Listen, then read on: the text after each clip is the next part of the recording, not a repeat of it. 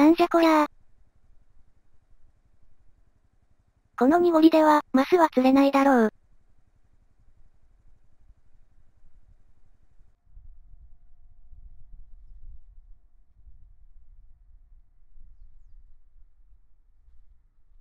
こっち岸は濁ってない。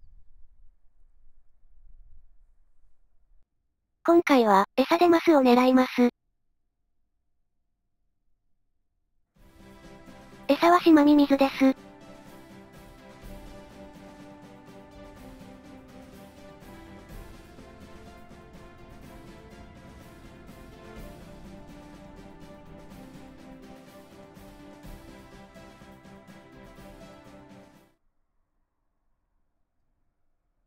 何も釣れません。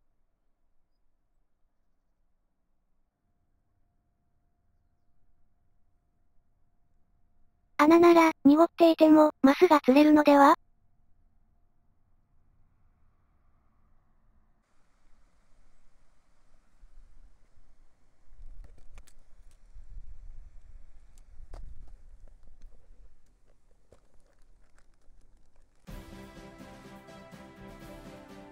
穴釣り、スタート。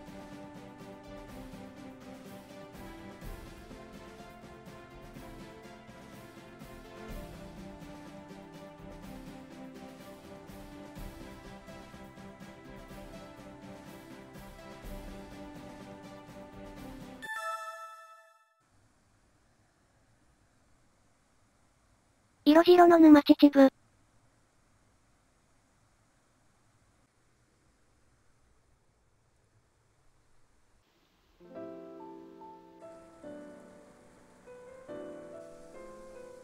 マスがいないのか、マスはオルが食わないのか、どっち？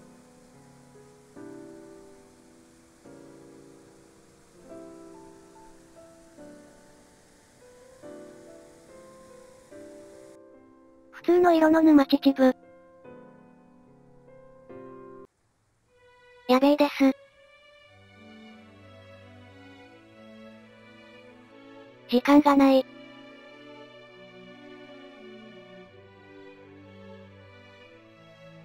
スプーンなら釣れるかも。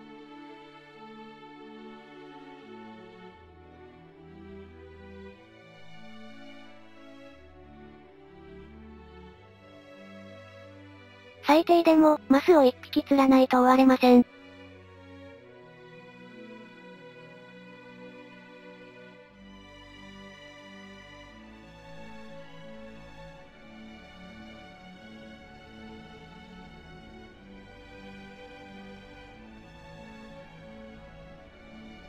もう、ダメだ。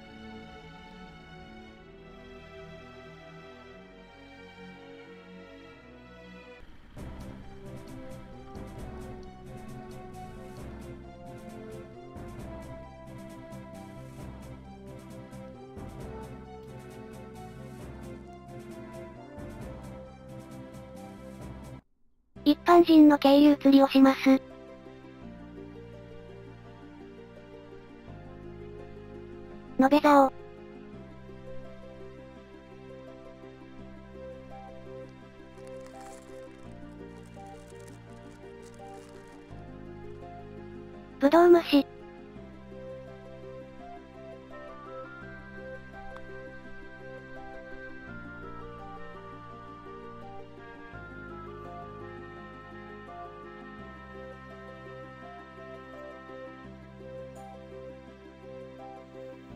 昨日より、濁りが収まっている。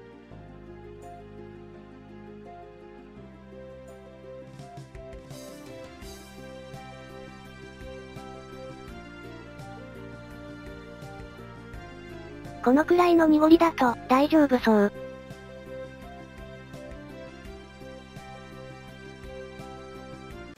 やってみれば、答えがわかる。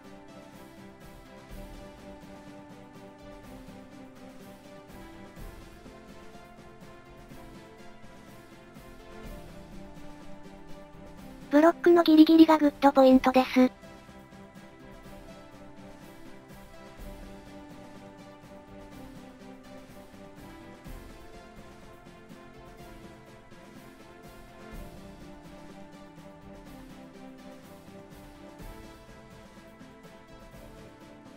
流された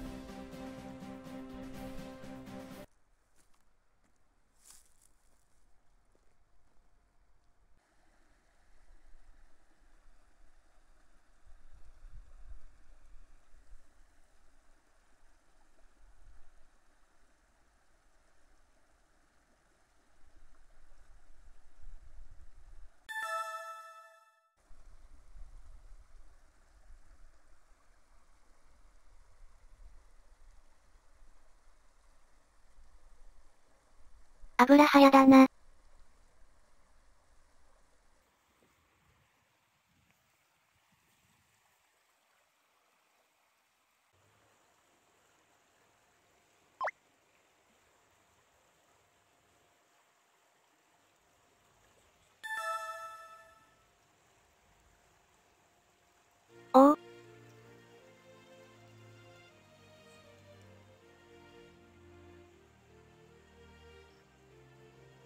うわぁ、イワナが釣れたこの大きさのイワナは初めて釣った。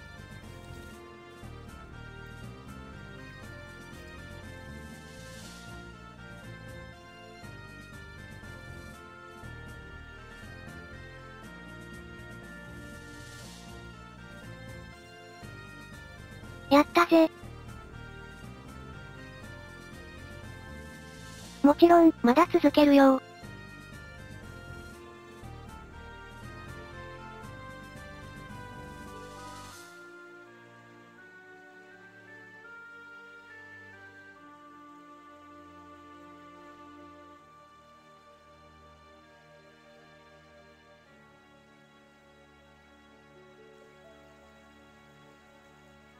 2匹目は釣れないです。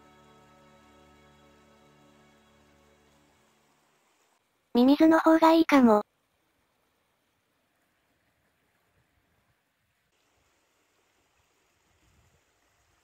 指が臭くなった。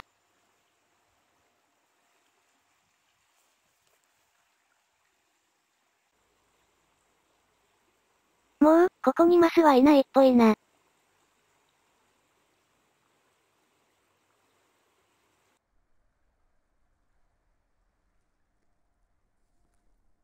あと、1、2匹は欲しいよな。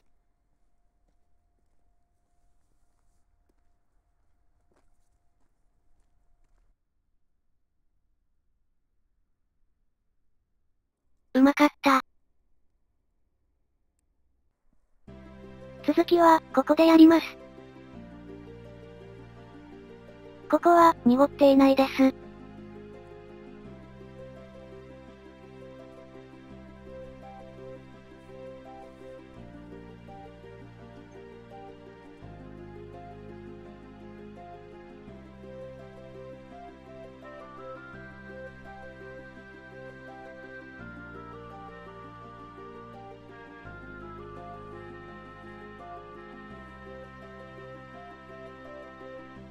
ここは深いのだ。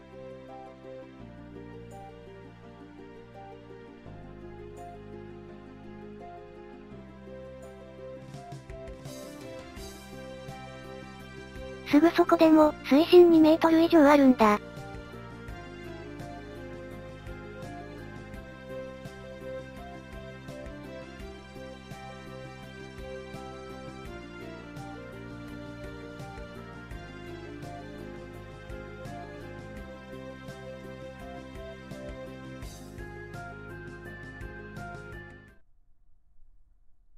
も釣れません。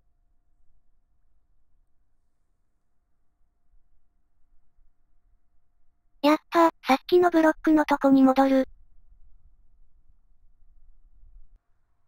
あれ？濁りが増してない？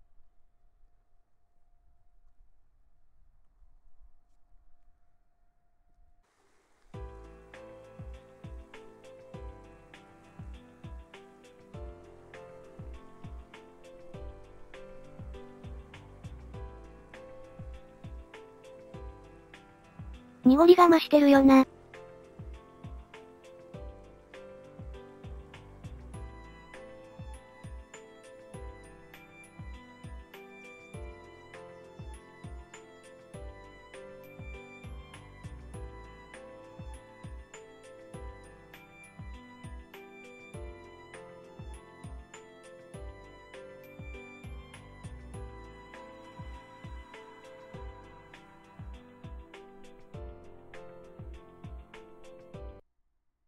コンディションだったけど。イワナが釣れたんだから、よしとしよう。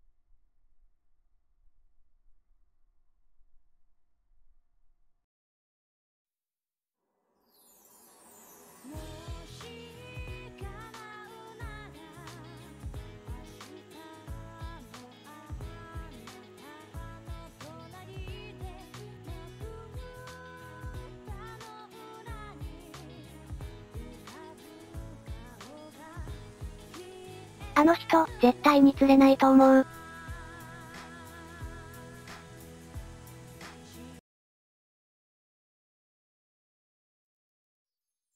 本日のキッチンは、ここです。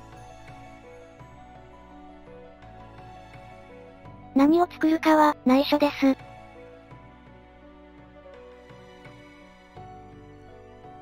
ライターを忘れた。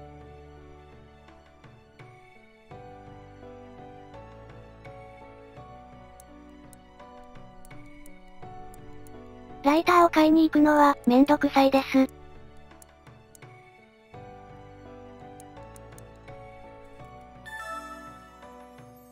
よかった。キッチンボックスにバーナーが入っていた。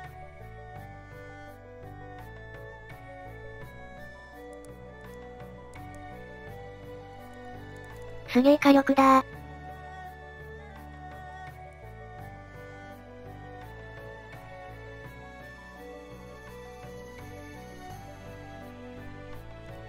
イワナは塩焼きにします。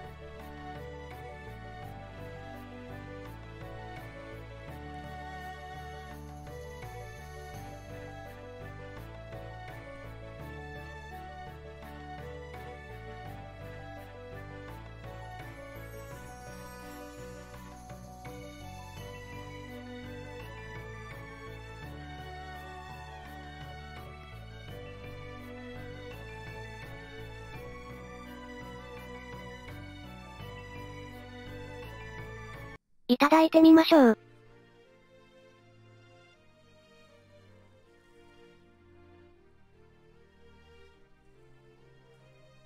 皮。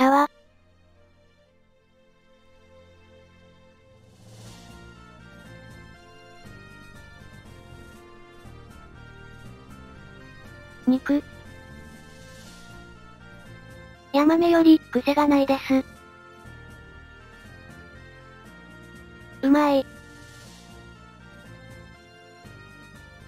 少し肉がついた骨せんべいを作ります。もう、いいかな。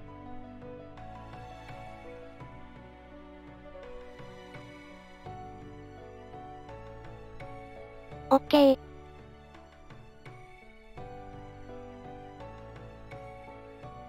少し焦げてしまった。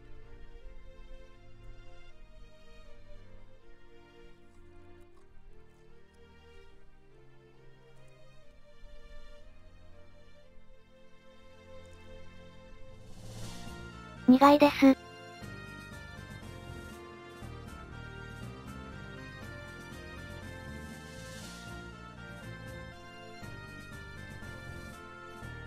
ドサンコの食通は、里芋に塩辛を乗せて食べるのだ。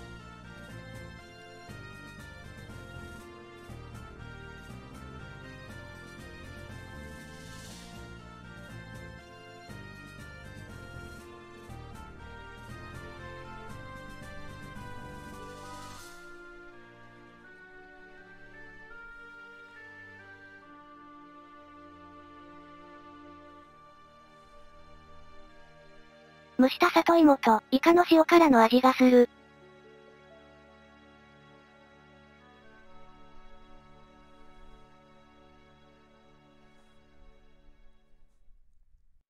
蒸した里芋とイカの塩辛は、別々に食った方がいい。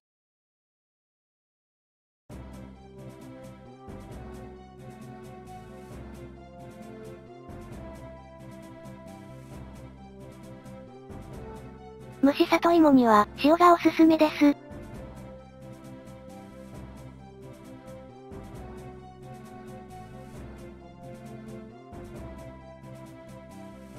美味しい。